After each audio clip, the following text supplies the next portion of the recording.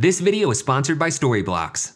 In this video, I'm gonna teach you how to make chunky, gritty, bulky, beautiful grain in After Effects. You can use it to add shading or texture to absolutely anything. I'll also give you three of my own personal presets with custom controls for rounding out corners, adding an inner shadow, and applying this chunky grain so you don't have to start from scratch. Let's take a look at how to make this effect. So here in After Effects, I'm gonna double click on the rectangle tool to make a shape layer and I'll double tap the U key to bring up the modified properties. I'll unlink the size, width, and height, and I'll just change this down to say a 500 pixel square and rename this box.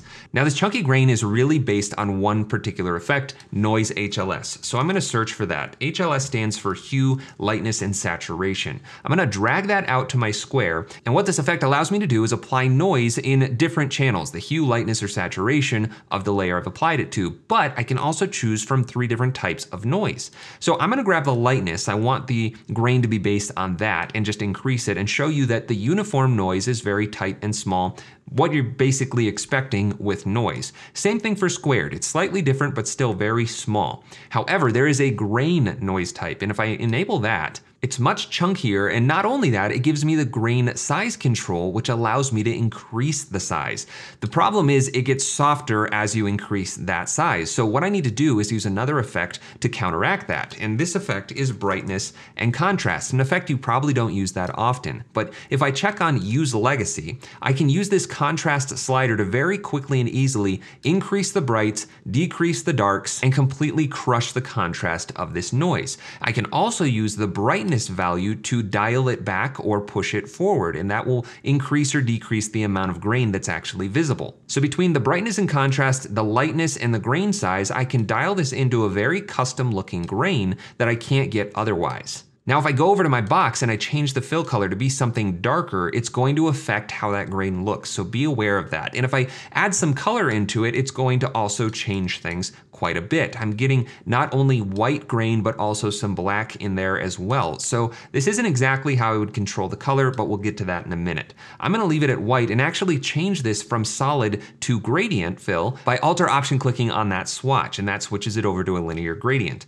These two controls are the start and end of my gradient, and I can place it at the left and right sides of the square, and now we're gonna get a gradient of texture, which looks really cool. I might dial back the size a little bit, reset my brightness and contrast, contrast and just increase the contrast a little bit, but that is such a nice quality of grain. I really love the way that looks. I could Alt or Option click on that swatch one more time and now it's a radial gradient and I can use this for almost like shading on this box and maybe I'll go in and I'll change the roundness so it's a circle. And now this kind of looks like shading on a sphere. So I can play around with these position controls for that gradient until we get something that I'm happy with. So maybe right around there, that's a really cool looking grain. Now there's a lot more that we can do with this grain, but before we go any further, I wanna talk about this video's sponsor, Storyblocks. Storyblocks is a massive royalty-free stock asset library, and having a Storyblocks subscription gives you instant access to all the assets you need to create projects quickly. And as a motion designer, getting your work done quickly is sometimes a necessity, which is why Storyblocks is such a valuable asset. Their royalty-free license is included with every plan and is backed with comprehensive coverage. No royalty fees, no need to track your asset usage, no legal jargon. You can create with confidence knowing you're fully covered. New assets are added all the time, including 4K and HD footage clips, templates, music, sound effects, images, and more. You can learn more about Storyblocks by clicking on the link down in the description. Thank you so much to Storyblocks for sponsoring this video.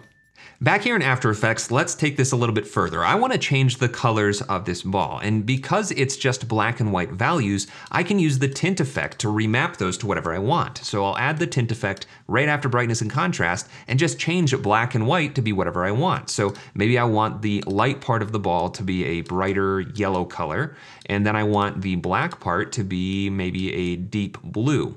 And now I've got this two-toned cool color scheme for this grain. Now I wanna add a solid into the background so I'll press Control or Command Y, except this is not the solid dialog box. This is actually a volume. If you haven't seen my video on Battleaxe's latest freebie, Void, click on the card above and you'll see exactly what that is. Now that was actually really close to the actual grain. I don't want it to completely disappear, so let's make that a little bit darker. But this grain is not animated. It's not moving around at all, and like any good textury grain, I want it to be unique on every single frame. So I'm gonna go into the noise HLS effect, and this noise phase control is going to shift it around, except this is a lot more like evolution. It's not a random seed. I don't want it to look like it's moving around. I just want it to be completely unique on every frame. So to achieve that, I'm actually going to add an expression by Alter Option clicking on that stopwatch and then type in a very simple expression. It's called random, and I'm gonna use the autofill to just complete that and put my cursor right between the parentheses. Between these parentheses, I have to put a value to generate a random number. So I'm gonna type in 10,000, and now it's going to generate a random number on every frame of my comp between a value of zero and 10,000. I'll click off and press the spacebar, and now my grain is dancing all around. It's completely unique on every frame. I like that a lot, but let's say that's too fast. I wanna slow it down so it's not updating on every single frame. Well, then I'll just go back into my expression and drop down a line. And on the first line, I'll type in posterized time. Again, autofill, I'll just press enter between those two parentheses is where I want to put the frame rate for the evaluation of this expression. So if I'm working at 24 frames per second, I want to half that, I'll type in 12, and now this expression is only going to be calculated every other frame at a rate of 12 frames per second. So I'll just finish that with a semicolon, add one down here for good measure, apply that, and now this is going to update on every other frame. And you can change this value to be whatever you want. So if you wanted to half it again, we could go down to six frames per second, and it's a much slower texture grain now. I liked it at 12, so I'm just gonna undo and get back to that. But that is the basis for the entire grain effect. Now I wanna show you how you can apply this chunky grain with much less work. If I jump over to another comp, I have this little potato character. He's bouncing around, having a great time. I rigged him up using RubberHose with the arms and the legs. It's a fantastic character rigging animation tool. This is obviously a very simple character with very doodly limbs, but you can do much more complicated stuff with RubberHose. Check that out. I'm also driving all this using voids, which is something that we had in mind when when making Void using these controllers for character rigs. It's just a really great way to make a character quickly and easily. So he's bouncing around but he's very flat. And I wanna add some texture, some grit, and some depth to him. So I'm gonna grab the potato layer, and I'm gonna start by just searching for chunky grain. This is the preset that I made that applies everything that we just built all in one, but it also has a chunky grain effect at the top. This is a pseudo effect, so it's basically just an expression controller that's fancy and custom, but it doesn't do anything if you turn it on and off. It's just driving the noise HLS, the brightness and contrast, and the tint that we set up manually before. So you can actually collapse those and we have access to all of the controls that we needed before. So I'm gonna start by just copying the hex code for the fill color and put that in the fill color of the preset. So I'll paste that in there, and now the body color is the same. I can take the grain color now, I'll paste in the same value and just make it a little bit darker. So there we go, we've got a potatoy color on that texture. And again, we have access to things like the grain size. So I could increase that. I could go down and increase the contrast to sharpen that up, maybe adjust the brightness to dial that in a little bit. I also want to point out that this is animated by default. Down here, you'll see that we have a grain speed. I could turn this down to 12 frames per second and it's not gonna animate as quickly, or I could turn it all the way off. It's gonna be on by default, but you do have the option to turn that animation off. So that's a very quick way to apply the grain. The problem is this is just a texture. It's not very depthy at all. There's nothing to it, and I want some depth. So what I'm gonna do is actually just turn these off for a second, and I'm gonna search for another preset. Again, one I'm giving giving away. So I'm gonna search for inner shadow and I'm going to apply this before all of the other effects. What this does is creates an effects-based inner shadow, not a layer style, because layer styles are rendered after effects. They're basically the last thing to render, so other effects are not going to play with them well. So I wanted a way to create an inner shadow that would interact with other effects without having to pre-compose any layers, and this is how I did it. Let me collapse this up and I'll just walk you through it one at a time. So first we have drop shadow, and what this is going to do is with shadow only checked on is just produce the shadow that gives me controls for the angle, the opacity, all those other things.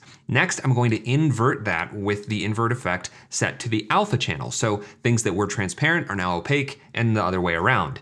Then I took a CC composite effect set to stencil alpha. This is going to take the original layer before effects were applied and use it as an alpha matte for everything that I generated with these other two effects. So we're left with just this inner shadow. But I don't have my original layer, so I need to add one more CC composite set to behind to bring back the original layer behind all the other effects that are generating the actual shadow.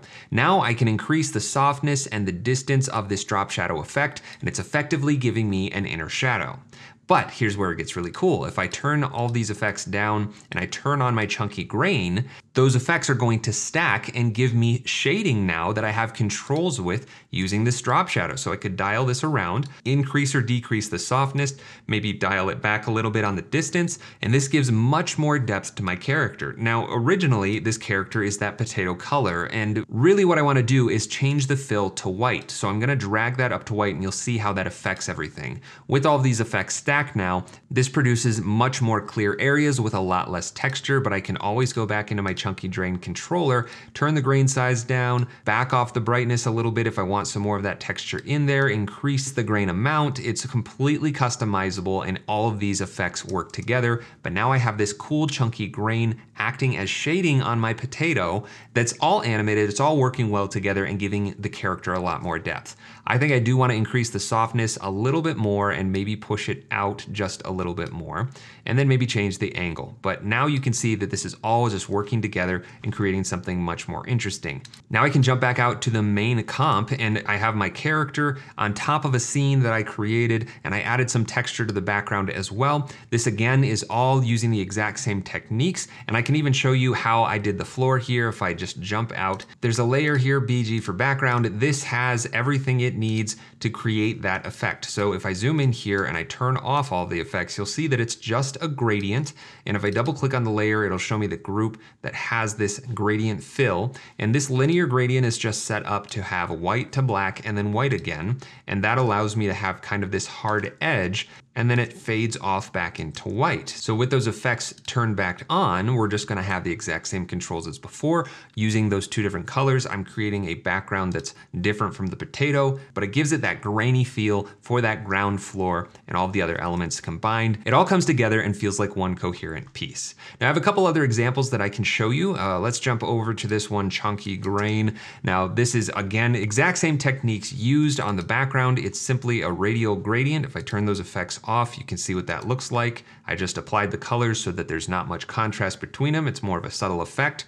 For this source text, I've animated all of my text in this comp using text animator as well as a couple of warp effects. But I've got the text coming out and then I have another adjustment layer here that is actually rounding the corners of my text. It's really subtle, but if you zoom in here and I turn this off and back on, you can see that it just gives it a softer look and you'll also notice that there's another pseudo effect. This is another preset that I've created. I've just named it round corners. It's very simple. We have a smoothness slider and we have a contrast slider. Now, the way this is working is by applying a blur and then sharpening up the alpha channel. Again, this time using the levels individual controls effect. And as I increase or decrease this, you'll see that it's just bringing in the input black and the input white as I increase that slider. So it's bringing them in towards the middle. So just bring that up until it crisps things up. Not so much that you're getting this threshold look, but enough to just clear up any of the these semi-transparent pixels. There are limitations to this. Obviously, you can't push this super far or else everything is going to blob into each other.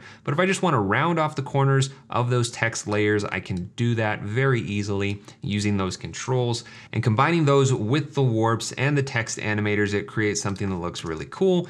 Again, bring this out into another comp, add in some grain. I added in a shadow using the CC slant effect. It just allows me to slant it in one way or the other, as well as increase or decrease the height, and then reposition it wherever I want it. So I just placed it further down on the ground. Maybe I wanna slant this over to the left side since the shading is on the left side of the text, the light would be coming from the right, so it's casting a shadow in that direction a little bit more. And then I added a second layer just to act as depth. So if I turn off the top layer, you'll see that it's just a solid basically with some grain in there. And then I could scale that down maybe a little bit more just so we can see it around the edges of that text. I can play this back and it just creates a very fun, bubbly, gritty, grainy text animation. Now, if you like this video, I wanna just take a second and ask that you actually do click that like button. That helps me a lot to getting these videos out in front of people so that they can learn all of these cool techniques and I can share these presets for free. So please give it a like. And if you're not subscribed, hit that subscribe button because that again really helps me, and then you'll know when I post new videos. So just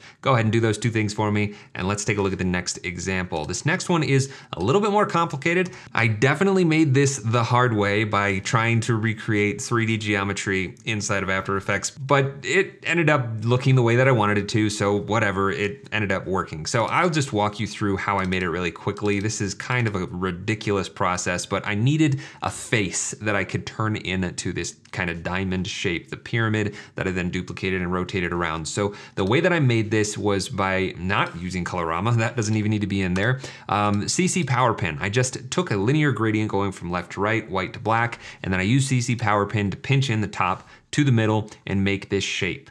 We'll take a step back and go into this next comp and I just duplicated that layer four times, made them all 3D, and I turned it into this 3D pyramid that I had to place by hand. It was not really that much fun, but I got it working. And then I went back another step. I duplicated it. I rotated it around using collapse transformations. I was able to preserve all the 3D, and that gives me all that cool depth. From there, I went to another pre-comp and I started rotating them around. I duplicated them, offset them. I added a drop shadow for the background, pre-composed that one more time, and then added all of my effects into this comp. So chunky grain is actually being applied on an adjustment layer, which is one technique that I really like. Being able to just create everything in this black and white format and then apply the grain and the coloring on top of all of that. Uh, it works really well and it creates a very cool looking effect. And the way I did these kind of inverting rings was really just by making a ring that animates up. I blurred it out a little bit, but it goes from nothing into filling the entire comp duplicated that comp a few times, offset all of those comps and set them as adjustment layers with the invert effect applied. So when one was revealed, it inverted the image and the next one inverted it back to normal and it just loops. Those drop shadows gave a really cool looking glowy grain, and I'm really happy with the way that that turned out. Now, I also had the thought that it could be cool to add some paper texture, so I brought in some paper textures that are included with Texture Looper, which is my own tool. You can find out all about it by clicking on the card above, but I'll just bring out a bunch of paper textures, and I'm gonna use my KBar button to turn that into a Texture Looper comp. I'm gonna change the blend mode to overlay and increase the contrast a little bit with the levels effect that's automatically applied, and then make it a little bit more subtle by lowering the output black and output white. But now that is going to loop at 12 frames per second, changing that texture and giving this entire comp a more organic feel, which is what I was going for for this comp. I really like that. So again, check out Texture Looper if you haven't already. It's the quickest and easiest way to apply this kind of texture looping effect to anything in After Effects. All right, I have one last example here. This one is really fun. I was very happy with the way that it turned out, but it's this sunset. I named it sunrise, but I'm just now realizing it's a sunset uh, of this cabin in the woods with the smoke. This smoke is using the exact same technique in one of my earliest tutorials. You can click the card above again to check that out. And everything else is again just using the same techniques. I actually applied the inner shadow effect stack to the background here so you can see what that looks like. And then I applied the chunky grain with the green and the dark green for the grain. Inside my sunrise source, this is a comp that's just made up of a bunch of black and white layers, some gradients, and a lot of these layers are set to silhouette alpha, so they're actually punching holes through to the background, like the smoke here. That's punching a hole through the black background, the trees in the foreground as well, the cabin. The sun actually has a gradient which is what's generating this cool grain on the sun as it sets. But also as that sun sets, you'll notice that the sky is changing color from the bottom up. So that is being achieved using a gradient that is again just a shape layer with a linear gradient going from black to white and it's matted using the sky layer in the background with just a rectangle to hold everything into that shape. But I enabled that sky so that at the beginning when the gradient is all the way down at the bottom, we're still going to see everything else in the comp. but this way the gradient just fills up that shape. And when you stack on all these other effects, you're gonna get that grain that turns out really, really nice and cool. The only other thing I did differently in this comp was add a turbulent displace and roughen edges effect. So if I turn those off, you can see it's much more clean and vectory with them on. It's gonna roughen everything up. And I animated the random seed using that random expression for both the turbulent displace and the roughen edges. So it all moves and vibrates. It looks a little bit more organic than if it were just straight shape layers with that texture applied. But that's it for the chunky grain effect. If you use this effect effect or any of the presets, please tag me at Jake in Motion. I love seeing your work and getting to share it with all of my followers, so definitely don't be afraid to tag me when you create something that you use from me. Also leave a comment down below if there's anything about this technique that you liked or you think that could be improved or added to. I would love to hear your thoughts. Again, don't forget to subscribe if you're not already so that you can stay up to date with all of my tutorials.